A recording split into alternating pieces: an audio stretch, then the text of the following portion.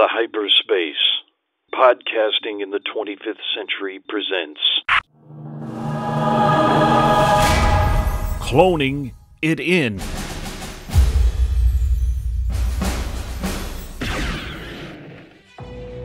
Welcome in, podcast pioneers, to Cloning It In. Our discussion and review of Star Wars The Bad Batch. My name is Jared. Hey, my name's Matt. I'm Brian. God, the gang's And here. The gang it- is here. Gang's here. Uh, well, there's a few people who aren't here. You know, on our Star Wars shows, Lindsay is usually a uh, a co-host. However, uh, she has no frame of reference for this show because she doesn't watch The Bad Batch Right. yet. Uh, and of course, Mike's uh, strike continues on Star Wars. So we'll see someday. Maybe he'll come back to us. But you know, guys, I was in preparation for this show listening to our last Bad Batch podcast that we did, cloning it in. Mhm. And you want to take a guess on when that was? Ooh, two years ago? Very close. It was August of 2021. Wow. That's when we did the season one wrap up show for the Bad Batch. It's and it was kind of it's kind of interesting listening to that episode because as we recorded it, you know, all that time ago, um, we were uh, we were hitting on things I think in our predictions that we may have seen come to pass. So uh, in that way, we were prophets uh, in some ways. But you know, I am going to start out by saying that if you haven't watched the Bad Batch thus far, and you don't want to be spoiled, the spoiler Walkman is in hand, I and mean, it- uh, it's in hand, but is it going to work?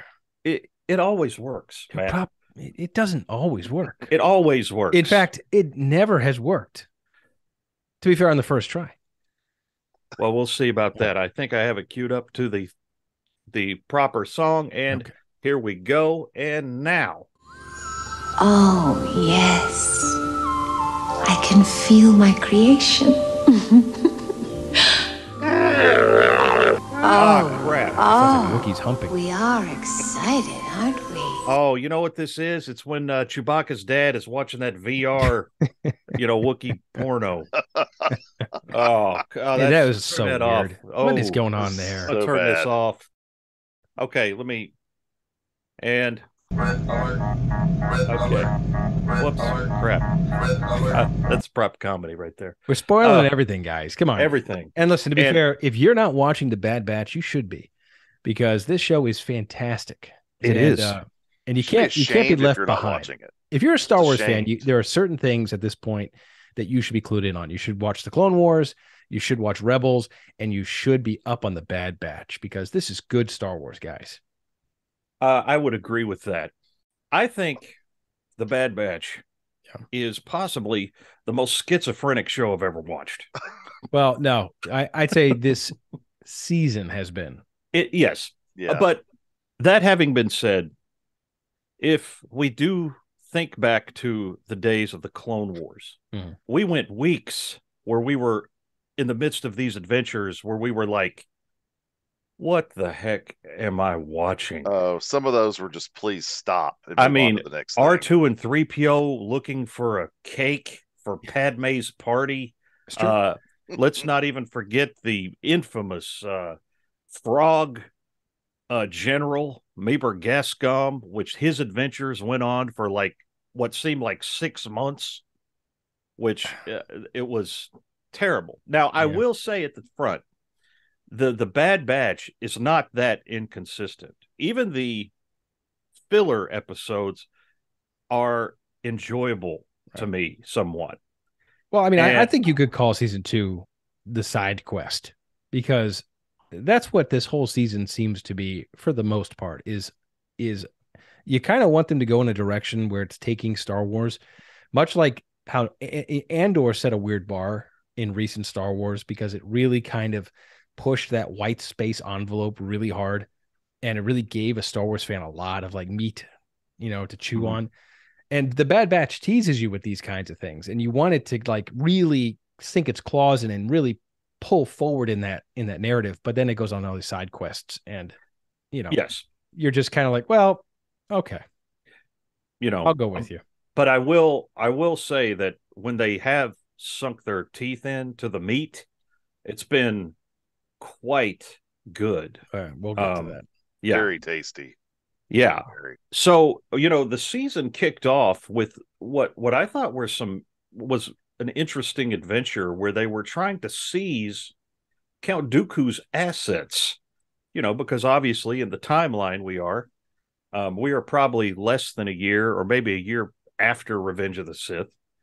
Of course, the Clone Wars cleanup uh, would continue for some time, and so they go to Serenno to Count Dooku's palace, which we did see in the Clone Wars, um, and to to start seizing his assets. And the Bad Batch were sent um, to kind of skim off the top of that to bring back to their uh, their underworld master Cid, you know, whatever wasn't tied down, and whatever was worth some money. And I thought uh, I thought those adventures were kind of interesting. A good Yeah. an- a good start to the season. Yeah, I agree. Yeah. You know, I I thought it was it was pretty exciting. It was a pretty good episode. My only honest complaint, and it's really kind of minor, is that I didn't really get to see any of the inside of uh Dooku's palace, which I really kind of wanted to see a little bit of. And um, but beyond that, I it was it was a good start to the show. I thought it was pretty good. Uh, you know, guys, before I forget, I'm sorry because I just watched the recent, the newest episode just maybe an hour ago to to be current Yes. with this. And I have to get it off my chest before we go any further. Is that uh, Omega's voice or accent, I should say, weirds me out to no end. I cannot get a grasp on her accent, and every time her character speaks, I, I I'm trying to like I'm like I'm trying to put it together. Like, how is she saying this? What is her? What is this accent? It's weirding me out, guys. I'm sorry, It's New Zealand. Yeah. she has a it's New Zealand accent. but it's really not. It's really kind of something even more like u- unique to the show, I think. But Well, uh, you know, obviously she, being a, a clone of Jango's, ha- has picked up his his affectation, but uh, it it's very pronounced. Mhm. Like, so for example, if you had Temuera Morrison saying "Hunter," "Ricka," I I don't think it would sound quite like it does when Omega says it, which is "Ricka," "Hunter," Rick. uh, "Tick," "Echo." Um, it just takes me out of it every now and then. Yeah. Well, I mean, But I, I've uh, moved on now. I, I feel it's off my chest. I feel better. the sharing has been cathartic. So, Matt, But no, but doesn't no. like but back to your back to your point. Spoils of War was um, a good kickoff to this to the season. It was kind of clever. I liked, um, you know, they're showing you interesting aspects to the the early Empire here, Mhm. and how they're operating, and and how they're kind of like slowly but surely just stripping resources away and getting their foot their their their foothold on different places and the way they're doing it. So it's kind of cool to see. And I, I really liked. I mean, it's kind of a basic concept that they're looting in a sense, but it Mhm. was kind of cool to see that they're looting. The Empire's looting all this stuff with these giant cargo containers going up, and it was just kind Yeah. of like that makes sense. I, I, mean, can, Yeah, they There's- got to fund this big operation they have. yeah, now. exactly. and of course, there's there's there's almost precedent for this that, um, you know, in the in the wake of like World War One, the Allies basically stripped Germany of everything that wasn't tied down and said, okay, you know, you're you got to give us all this stuff. Well, I mean, Germany too. Germany was taking paintings and any anything. Oh, yeah, after- art. So it's like- exactly. So, you know, I think that the the empire is probably punishing these separatist worlds, Mhm. um, formerly separatist worlds, um, by by doing this. And of course, in the public's eye, Count Dooku was the leader of the separatists, so of course they're going to go and start ransacking his crap, uh, because hey, he's the guy. You know, to them. To us would be, you know, like going after, you know, hey, Hitler's Eagle's Nest. Yeah, let's go see what's in there. Um, but uh, yeah, the uh, the animation on this show is uh, beyond reproach. Even the the less, um, even the filler episodes uh ha- are look fantastic. Um, and I was noticing today, as I was watching the the newest episode, which which I thought was actually pretty good, even though it didn't really progress the story that we were introduced to last week. Um, some of that animation was just really, Mhm. I mean, obviously, you know, you had the Lion King scene when all the antelope come through the valley, but I mean, that stuff, and it sounded great on on a surround sound system, and uh, I thought it looked fantastic. You know, his Wrecker is like trying to cover, you know, the uh, the element that they're after, and they're all just running over him, and um, even just the way the dust moves in those dust clouds, it's it's stuff that you know usually would only see in a feature film Yeah. and uh, it's really awesome that Lucasfilm Animation is continuing to evolve this style that they did with the Clone Wars. Yeah, you think where the Clone Wars started with that, you know, feature film, the animation and that, to where Bad Batch is now, Mhm. and it is just miles and miles different in his leaps and It's- bounds. It's ahead it looks like a different. I mean, even though the character models look similar, it, it's it's almost like it's just night and day. When they approach Coruscant in, I guess it's the eighth episode. It looks like Revenge of the so Sith. amazing, amazing. It's absolutely incredible. And if they weren't holding to your point, Jared, with the with their uh the face models, and character models, if they weren't sticking to that look just as you know, just because that's the look that the Clone Wars started with.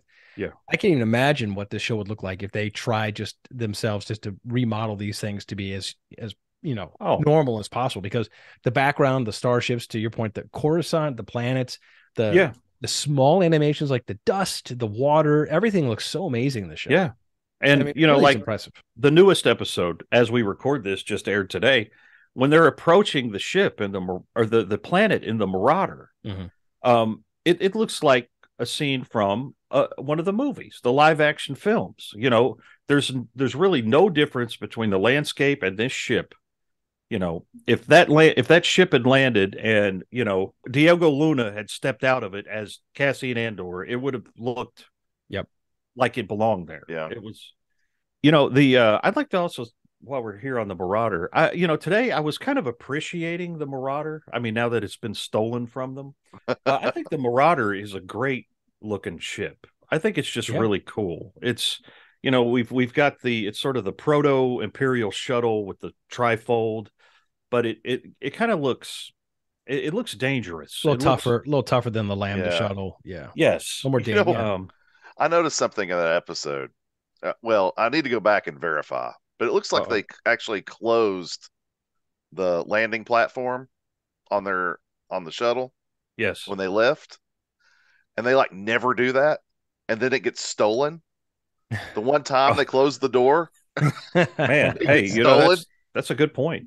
And I mean, Brian, you're the the resident collector here. There Oh, there has been no toy of the Marauder released, has there? no, not yet. It would be nice to see it. I know there's a there's a movement out there among collectors, you know, that wants more vintage collection ships Uh-huh. and things. But you know, they want Well- to do you know either the HasLab deal or they want Hasbro to do something. Well, it's a no brainer. I mean, for Yeah. this, I mean, uh, so anyway, um, you know, we, I think, uh, was the second episode the the the pod racing episode? No, that was the the fourth episode, I think.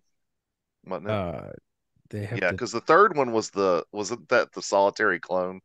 Solitary Clone was third. Yeah. You know, that was in- I saw I picked up on something interesting when I was watching that today. I went back through and watched them all in a row. Oh wow! And there is mention of the um the uh the Defense Recruiting Act in that episode. Mhm. Some guys sitting at the table eating lunch to, or breakfast or something, talking about it. And then Mhm. it comes up in what episode seven. Yes, yeah, they And they that was the definitely are plot point there. sprinkling the breadcrumbs. Yeah. And I, I think that's certainly one of the biggest uh, things that this this season has brought us is the whole uh, Defense uh, Recruitment Act and the phasing out of the clones Mhm. and uh the the the to bring and the the age of the storm the, Well, I mean, I it, I tell you, you know, masterfully played. Even like at the end of last season with um with uh the clone cities uh being destroyed, and Yeah. you know, you think that it's you don't really think. I mean, it's pretty impressive when it happened, but I wasn't putting any of it together. But now you start to see all these little puzzle pieces and all these little chess pieces being played. You know, to to do just that, to get the clones out and to do a conscription you know, forced army in of the empire and how they managed to pull this off is pretty cool. How they explain this in the show. oh yeah. i mean uh, step one obviously was getting rid of the cloning facilities on kamino because they yeah, they don't want them cranking out any more clones um and the thing that that that impressed me about the whole thing of course palpatine was is playing chess like nine steps ahead of everybody else Oh, yeah. He's And- the supercomputer. But I, you know, I have to admit, when I was I was watching the episode where he appears, and I thought, well, you know, um, as the Bad Batch go, and the whole sequence of them getting on that Venator Star Destroyer, and then r- like crashing it into the dry docks. I thought I thought all that was just awesome. Like they just Yeah. move it off its moorings and smash it into the ground. And I was like, and then and then to get in the escape pods and just Yeah, eject themselves. That that all was fantastic. And but then I thought, you know, as this evidence is presented to the Senate, I I was like, well, there's there's a catch. There's something here that's not going to be right. But then they play it, and it is what it is. It's it's star destroyers destroying Kamino, and I was like, well, holy crap! Oh, What- what there is was a about? catch. It's has been a horrible event. Yeah, and then you know, of His course, fault. yeah, Palpatine comes and everybody is like in the Senate is like outraged and shocked. And then old Palpatine pops up and he's like, Admiral Rampart, you are a criminal or whatever. He goes, arrest him. And, and so, I was just following orders. dude, Oh, so Rampart, I mean, so do we think Rampart is is he going to be um is he dead or is he going to be is he going to become an ally to the fledgling rebellion? I kind of get the impression that we're not done seeing him yet. yeah, we're not done with him. I think that uh the Emperor, you know, it's kind of like you've played your part now. Now go away. Yeah, and and I'm not gonna- obviously, I'm gonna let you go. You just go away. I think that's how that's gonna play out. But well, it- it's get out of funny. Like every time Palpatine does this, we thought we think back to remember when he's done with Dooku, He's like, kill him now. Get him. It's just like, okay. And Dooku's like, what? Uh Rampart was the same way. He's like, wait, wait, what? No. and so I, I just have to and then Palpatine, of course, turning this to his advantage, the clones did not act alone. Or the Rampart did not act alone and starts and gets what he wants anyway, despite all this crap happening. Um, But you know, in the build up to all this, though, they're doing a good job showing you the the new kind of apathy of the Senate. You know mm-hmm. how you know you have the the the select senators now being like little sycophantic to the empire and to the emperor, and they're just kind of like the yes men are in place already, and you know the the Senate is kind of a quiet place now. You know, mm-hmm. take it to like when when Palpatine, you know, first announced the empire, how Yeah. how how much energy was still in the Senate. Now when you're seeing it, it's just like it's becoming a ghost town. It's already after just about a year into this, it's already quieting down. Yeah. And factions aren't speaking up and they're just kind of staying back. And, So- and you know that carries all the way into Andor. Exactly. there's like 12 people in the whole Right. building. It's like abandoned. Exactly. Exactly. You're just preaching to, you know, empty seats. Now, I I have to wonder this because, I mean, and this is speculation. I'm asking you to speculate. so for the most part, people believe Palpatine to be the Chancellor who was almost murdered by the Jedi, who who is left scarred and deformed. I, I think the only person who knows what is going on with him in his inner circle is probably his blue skinned friend M- Mas Amedda. Yeah. Like- true. because um, I'm sure that Palpatine wanted this to happen. I mean, he wanted to to move through this this particular act. But do you think that the the evidence of the star destroyers destroying Kamino was that a monkey wrench that he just used to his advantage? Because I think he probably would have gotten what he wanted if that had not happened, if they had not presented that evidence to the Senate. Does, do, do you it see what was- I'm saying? I think Like- it was going to work out either way for him. Oh, well, of course. You know, that's just kind of the way it goes for Palpatine. It seems like he just knows how to manipulate every situation perfectly to Oh. you know whatever means he wants you know to accomplish. And you know, you, I mean, we could go down all kinds of rabbit holes on this, but like, we don't know what we don't know. For example, in the beginning of uh, was it episode seven or eight, where the clones are in the clone bar? Which, by the way, it's pretty cool that in Coruscant there's like clone hangouts and all that stuff and clone Yeah. Yeah. bars. Which I, I did some research. Yeah. That that clone bar shows up in season six of the Clone Wars. Oh, really? Mhm. Yeah, it's it's the same place from earlier. But It I reminds me of the one in uh like a lighter version of the one in uh episode two. Yeah, of Yeah, course. yeah. Um, but like the clone that is uh the you know the two guys are talking and one's on the conspiracy train Mhm. and uh he might have been a, a plant himself just to get things you know talking and moving you know Yes. just to draw out senators or or people who are you know trying to you know uh navigate you know against the current on this one so it's like there's so many different tentacles that palpatine i'm sure extended out to make this happen so he was going to get it no matter what and i i think the minute kamino was was wrecked it was a lock so Yes.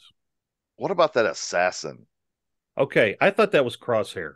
I did I was like, at first. I was like, I did too, I not- did too. It's not even. Uh, I was like, oh, this weirdo in a mask. It's it's Crosshair. It- but then it turned out to be like a, a just a clone. yeah yeah. Which, by the way, Crosshair is kind of dipped out of the show for a bit. I'm sure we're going to see him on the back end, but Yeah. you know, it's kind of been um there was such a such a such a tension there in in season one, and uh it just kind of like evaporated. So I, I'm kind of looking forward to him somehow getting back in the show because I think that at this point he, he- we need a little injection of that kind of tension in the show. Now, something that happened in that, uh, I guess it was episode eight, or maybe at the end of, maybe it was at the end of seven, when uh, the assassin kills himself with Oh, the with big the- electric charge tooth or something in his mouth. Do you remember And- where we'd seen that before Where had we seen that before? in the Mandalorian? Oh yeah, that's right. The, the, he was the captain of that star destroyer yeah, that that's right. Bo Katan and the Mando commandeered, and he Oh, did the that's same thing, right. Yeah, Yeah. yeah, And- I forgot about that. Fried But- his brain. but seeing that in an animated series that would purportedly be for kids, that was pretty pretty hardcore Yeah. shot to throw in there. It's true. It is, and it's uh, it's it's another aspect of the like what I call the schizophrenic nature of this show, Yeah. where we're having um we're having uh, Tomb Raider with Wanda Sykes one week, and uh the next week we're getting like you know deep deep super deep uh, deep lore cuts and you know man. people committing suicide on screen so you know, we got to go Uh, back to that that Wanda Sykes episode real quick. okay kind of, you know, interesting in the sense that you got to see more places of the galaxy, which is always fun to do. But Yeah. I I could not stand her character in this.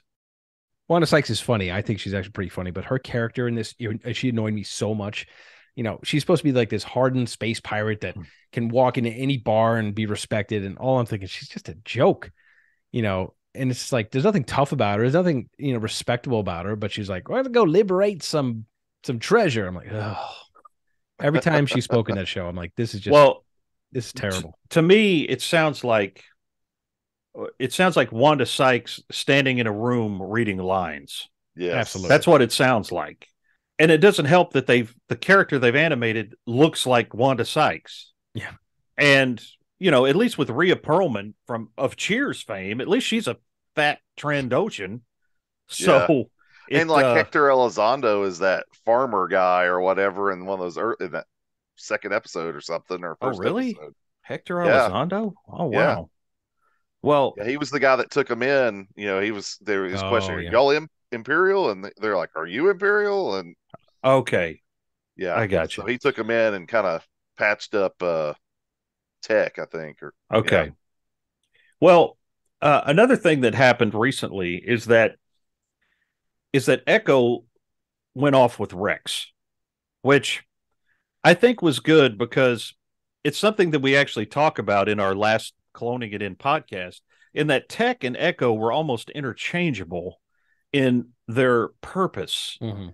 uh they they were both always working on some technical problem working on a computer working on the ship um and neither one of them seemed to have any real personality because they were both always just doing the same thing together and you know i think echo actually he stood out because echo is not he's not a genetically altered clone like the i mean he's been obviously altered He's not a mutation. He's He's an not a augmenta- mutation. He's an augmentation. yeah, but he's still he's still of the same uh i guess genetic uh imprint as like rex is Mhm. and you know he's known rex for a long time and i thought it was interesting choice that they chose to have echo go off with rex at the end of episode 8 Yeah.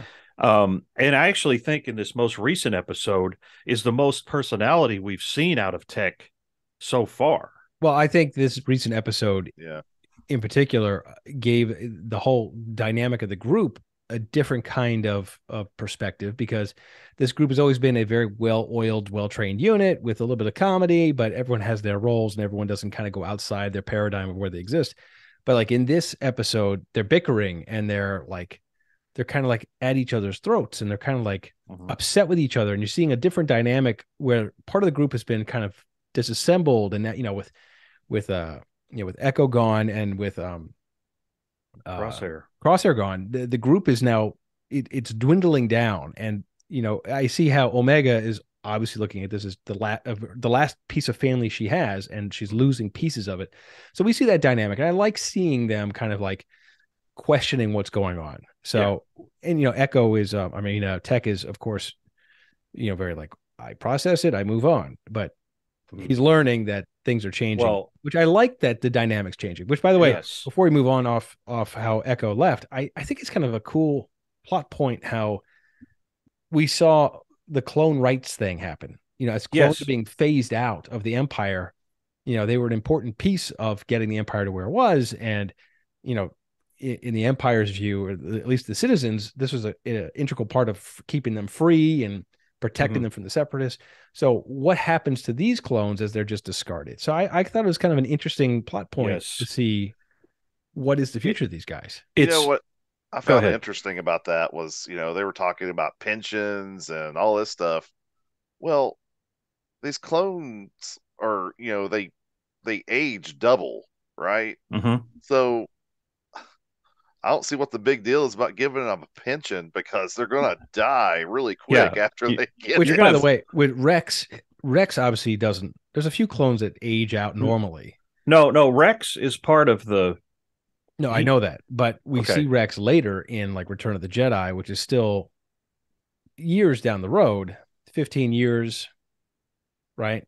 well yeah, well well 20. return of the jedi is probably about 23 24 years from from, where right we now. are So it's like, but he's well age appropriate, I think, in that in that. So I Well- think we're going to have to identify some of these clones are probably not going to age out like the other ones are. well rex is by the time of the original trilogy, I would say he's genetically some somewhere in his seventies, Yeah, whereas he is really only like thirty years old. right. That Uh, makes I guess you're right. I guess you're right. So, um, But what happens to all the clones? Because like there should be a there should be millions of seventy year old clones walking around yes, in, in the And- you know in the time of like a New Hope. But Well, obviously we don't here's- see that. I, I think speculating here a minute. I, think, and I think it's something we might see in the Bad Batch, and I think it would be amazing. Is there a clone uprising? You've got these clones, Mhm. some of whom are still wearing the armor, who are just going to say, and, and as the stormtroopers start to come to prominence, um, is there going to be some kind of, I don't know, another clone war? uh, where this it's stormtroopers versus clones. You know that there's going to be a reason you don't see uh, a clone on every corner. By the Mm-hmm. I think time, that, I think it comes down to that. Whether it's a I've been- conflict or a built-in genetic time bomb that they have, something's going to end the clones. I hopefully Yeah. before we're done. I mean, it Yeah. might not be this season either. It might be a third season of Bad Batch. Mhm. But I think this show will cover what happens to the clones. Okay, Yeah. so if you had stormtroopers facing off against clones, who's going to win that? Clones. Right. Clones. Well, then again, with- Stormtroopers I mean, can't hit if you- the broadside of a barn. But I mean, if like if clones are, are a foot army and you give and you give like you know heavy artillery to Yeah. stormtroopers, That's true. but no, as far as battle hard training and no, it's not a chance. well, I think that's something that we're being we're being led to in this show. Yeah. We're being led to this to whatever reckoning awaits the clones because you're we there's a reason we don't see clones a bunch of clones at the time of the original trilogy i mean there's an in-universe reason for it uh it, it's and i think that that's something that's going to be explored and i think that's that's this show living up to its maximum potential like it has a couple of times this season Mhm. where it's really giving you those stories that you want to hear about. Like, how did the stormtroopers come about, and why are the clones gone?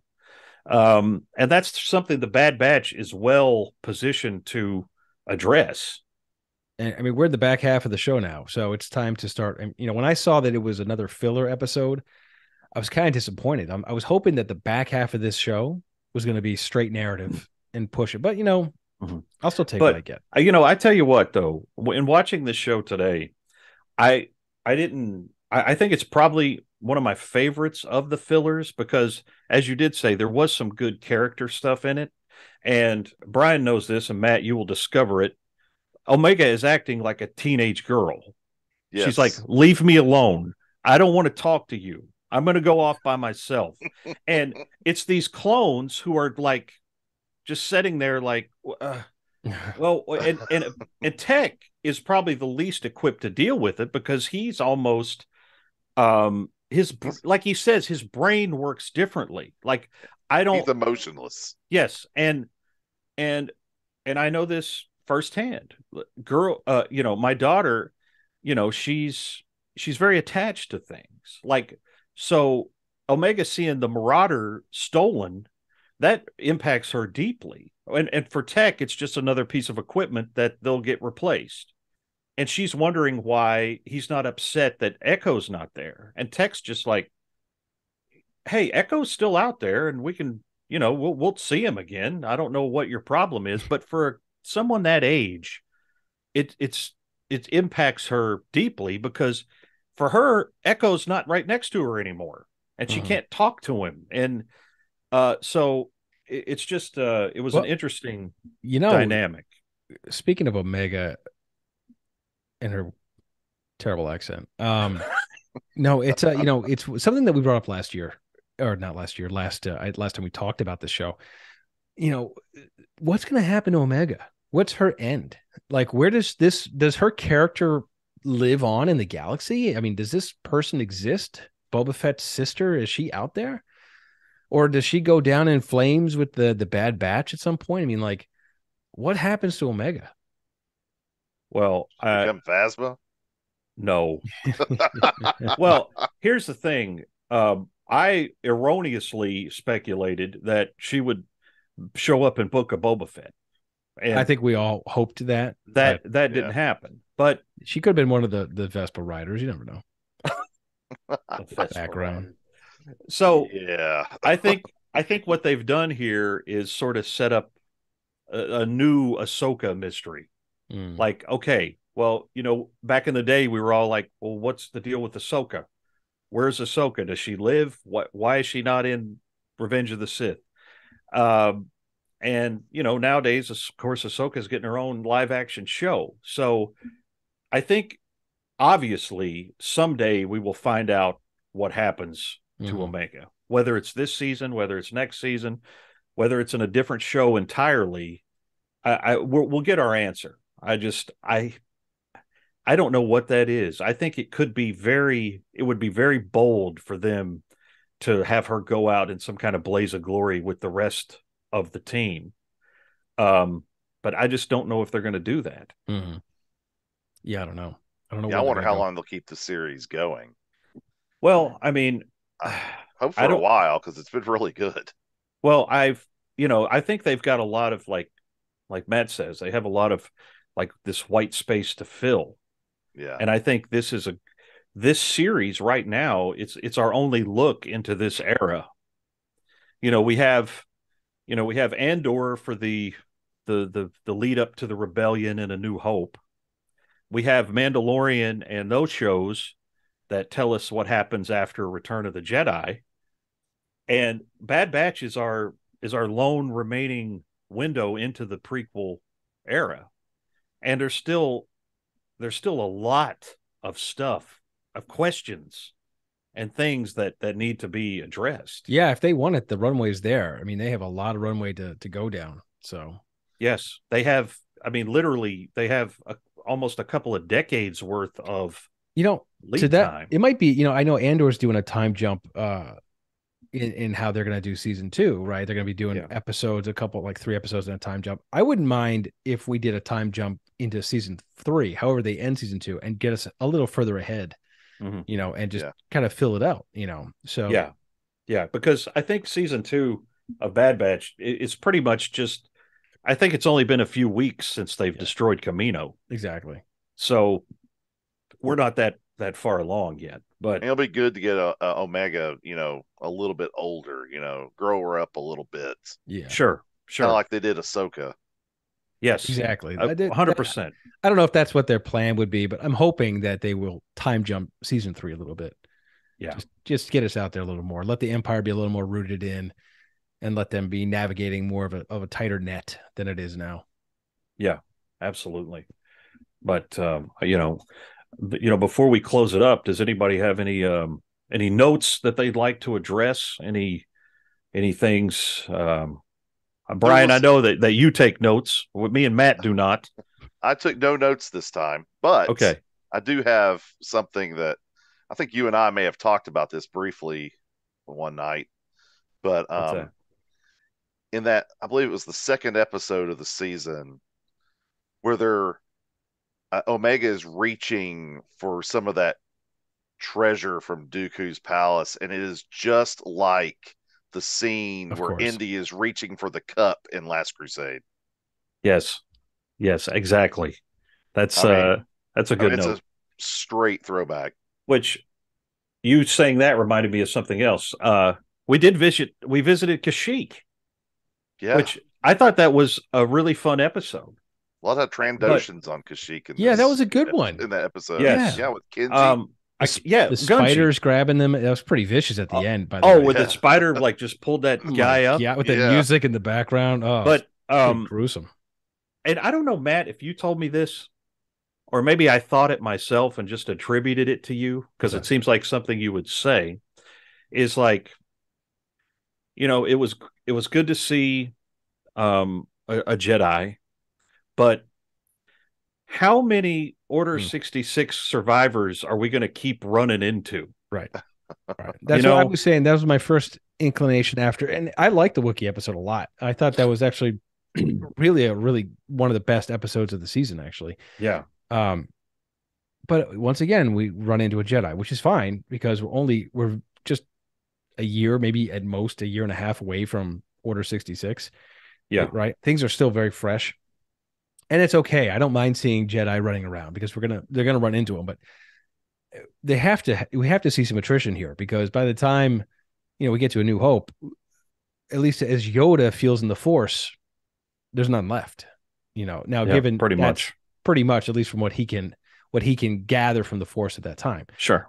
because I think at that point Ahsoka is already in a different time space, if I'm not mistaken. Well, no, Right. she she's still around. I think she- she, Yeah. no, she I No, thought she- she's no she's because not she in came that. back. She came back at the end of of Jedi to appear. Remember, she came out of that temporal rift, and she says, It, uh, I I'm not sure what happened. I, I don't know if she Either was way, gone either way, or either way, we, we're led to believe that there's nothing. The Force isn't telling Yoda anything, so Sure. Yoda's not feeling any of the of the Jedi left. So we have to see some attrition here. So I'm okay seeing Jedi popping in and out, just like we even Mhm. saw for the Mandalor uh, Mandalorian three uh, season trailer. We see Jedi. I'm assuming that's probably a flashback from Grogu. Yeah. you know, from the Jedi Temple, but you know, Jedi have to start disappearing. You know, and I want to Yeah. see them. I don't want to see them always live and make it. You know, it's Yeah. okay to see some Jedi, you know, go down. So Yeah, absolutely. Um, and I, I but I, I thought it was the way that Gungi's story was handled. You know, he was on the run. He did not have his lightsaber. He was he was in hiding, Right. and he he- and apparently had had never been back to to Kashyyyk to his home because Mhm. as Jedi they are taken very young, so he had no he, he had no experience on Kashyyyk. But you know that was a good episode, and I'm you know I'm glad we snuck it in there. Which is the um, one where they went to the the sister's garage in the uh, Coruscant Oh, that was that was one of that was one of the uh that was one of the one of the pivotal episodes Oh. where that's where he took uh, Senator Chuchi right. um that they met up there at the Martez sisters uh, or as Matt calls her Patty because of the cow cow pie on her head and I was like oh man are we are we going to get a Martez sisters cameo here uh, but fortunately that didn't happen. Yeah. Um, but yeah, that's um, yeah, that was part of the uh, the kind of the secret network that they had been building up, and um, so uh, you know, I I truly hope that you know, obviously, uh, the most recent episode this week was a cliffhanger, so we're gonna have to see how they get out of this situation that they're in. Well, also, I, I I don't think it was just a cliff. Like, I don't think it's just a side quest cliffhanger. I think there's something that's going to be uncovered, obviously, from this. I'm hoping that this Mhm. turns into be a narrative pusher in some Yeah. form or another. Yeah. And uh, and by the way, the the thief, the ship, uh, looked a lot like Hondo, a little bit, right? It Yeah, wasn't, but I mean, the same kind of species, almost with the helmet on. I don't know. It could be. I mean, I didn't really get a sense of much of anything, but But uh, Uh, I got to mention this because I, I I thought about it a couple of times before we sign off. The okay, so when Omega is on Coruscant, she's following Chuchi around, Right. And I was thinking last season, this is a person Omega who was being hunted by Cad Bane. Yeah. and she is walking and talking to Rampart in the Senate and following this senator around while the Bad Batch is off doing their thing. And it's like, holy crap, do you think maybe she should have stayed on the ship or something? I mean, she's she's running around in Senate hallways. Um, apparently a wanted person who is not unknown to people. it's true. But but but little Omega is just all over the place. So and it's I was so like, overt, it's hmm, covert. Maybe so. Maybe that's it. It's like, hey, just put it in their face and be like, oh, Can't know- be, can't be. the, the ramp. And interesting that the Kaminoan that they brought in to question, um, Oh yeah, she didn't seem to recognize Omega. But then again, this Kaminoan was not really part of that. no, I think I think she's- I think Yeah. she was always stationed on on Coruscant, and she wasn't a part of that.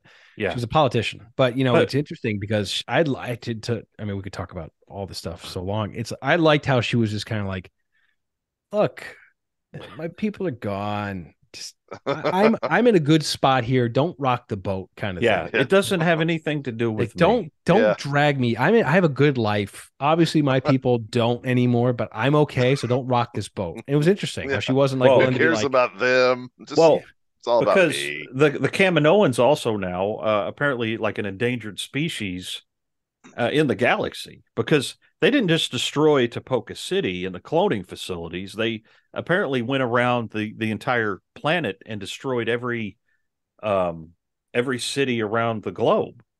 So, yeah, the Kaminoans. Another reason maybe you don't see Kaminoans hanging out in the Mos Eisley Cantina.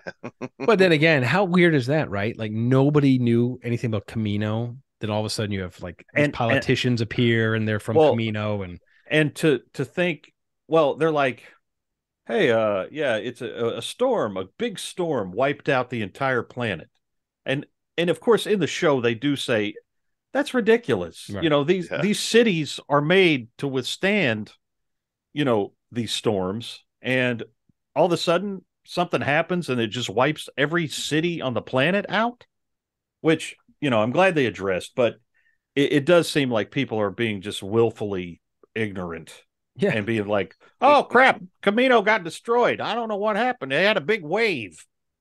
Yeah. Okay, yeah, but it, of course it was in service to the story because we we saw the video recording of what actually happened, and um, that's uh, yeah, Yeah, but that's- it's funny about how you're right. Omega is, you know, she's on the wanted list, and, And- nobody and cares. Nobody as cares. is as is the entire Bad Batch. They're still wanted Yeah. um, because I don't think Rampart. Well, Rampart's not in the picture right now, but um, yeah, but you know, you know who Crossfire is, and I wouldn't be surprised if Crossfire, Crosshair. uh, Crosshair, I'm sorry, Crosshair works with Rampart and gets him out or does something because he's yeah. he's kind of a on his own lone wolf mission anyway well, here. but he had something of an awakening in his episode uh, when Commander Cody, who of course is a Revenge of the Sith alumni, he goes AWOL. He's like, you know what? Forget this. Uh, I'm I'm done. And uh, he him and Cody have a talk, and you know I think Crosshair we could he he sh- I think he's being set up obviously for some sort of redemption. Yeah. Um, I don't know. We'll see. I mean, uh, he's apparently, you know, he's. I think I saw some cracks start to form in in his episode. You know, he was, you know, he's not really, he's not the true believer. I don't think that he once was. Not like the guy that shocked himself to death. No, no, and he called himself a true believer. Yep. And um, and Rex is like, what? What is? What does that mean? So, you know, maybe there are this subset of clones who are like super loyal to to Palpatine, and uh, and of course, you know, we do have the the clones, you know, Rex and so forth that that know what Palpatine's up to. They know he's evil Yeah. that they they've found this out for themselves. So, um, and I think it's very interesting in this show, in those episodes we were talking about, where you know people still want the clones around to protect them from the insurgencies that are popping up across the galaxy, which is of course setting up the rebellion. Which, after watching Andor, that has a whole new Mhm. you think about it in an entirely different way. So I, I really think it's great this this this storytelling that that they're doing in this era specifically. Well, you know, I said it before. Disney uh, animated shows, uh, animated Star Wars, have really, for the most part, really hit well. And um, Yeah. And I, I- just think the Bad Batch is just one of those shows that I look forward to watching.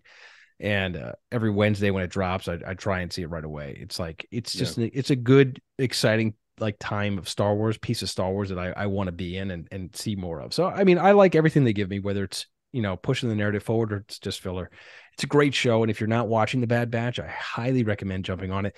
You don't even have to watch the Clone Wars; it helps, but you can get right into season one of the Bad Batch, catch up quick, and it's a good watch, and it's an exciting show, and it's the white space. If you're a Star Wars fan, it's that white space that you're just dying to see filled, and they do such a good job. So, I'm looking forward to the back half of this show. We're going to come back and talk to you at the end of that. We're going to give you our full season recap. We'll give you our thoughts to see if they're going to give us a season three, what that season three is going to be like. So don't move anywhere, guys. Watch Disney Plus, watch The Bad Batch. Come and join us. Come listen to our show, and we will probably spoil everything under the sun for you. so, but uh, but again, Brian, always thank you for joining the show. Oh, well, thanks for having me. you know, Yeah. a, a true staple of our Star Wars podcasts. Yeah. and um, and we will uh, we'll be seeing you soon. You know you can't live without this content, so subscribe to The Hyperspace Podcasting in the 25th Century. Follow us on social media, leave us a review, and join us here next time as we take you into the 25th century.